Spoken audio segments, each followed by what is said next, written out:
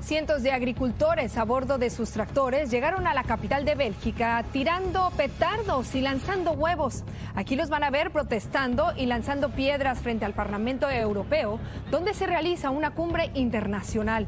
Los agricultores reclaman mejores precios para sus productos y menos burocracia en su trabajo. En medio de todo este caos, efectivos antimotines usaron chorros de agua para poder dispersarlos.